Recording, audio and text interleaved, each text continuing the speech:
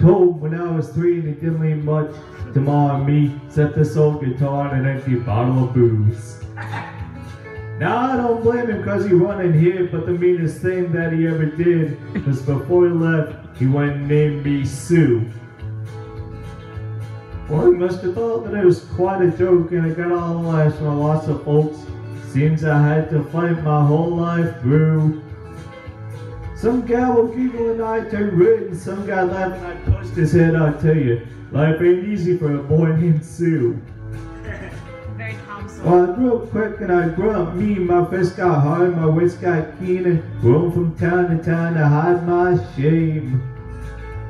But I made me a vow to the moon and stars. I searched the honky tonks and bars and killed that man that gave me that awful name. Well, it was Gatlinburg in mid-July, not just a time my throat was dry. Thought I'd stop and have myself a brew. At an old saloon on a street of mud, there at a table, feeling stud, sat that dirty mangy dog that named me Sue.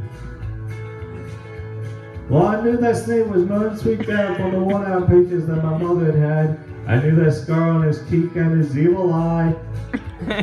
He was big and bent and gray and old. I looked at him, my blood ran cold, and I said, My name is Sue.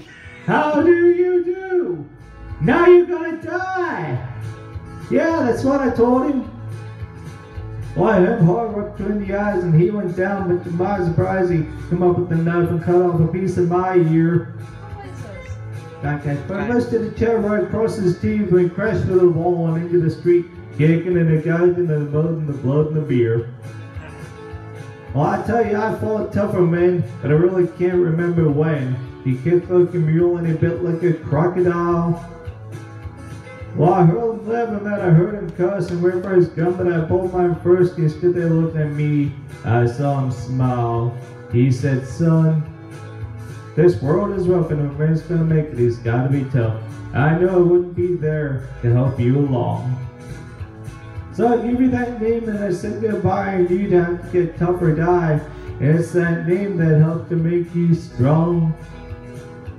He said, oh, you just fought one hell of a fight and I know you hate me. You got the right to kill me now. Don't blame me if you do. But you ought to thank me before I die for the girl with the gun that spit in the eye, cause I'm the son of a bitch that named you Sue. What could I do? What could I do? I got all choked up and I threw down my gun and called him upon. and called me a son and I come away with a different point of view. And I think about him now and then, every time I try and every time I win. And if I ever have a son, I think I'm gonna name him Burl or George, any darn thing but Sue. I still ain't that name. Yeah!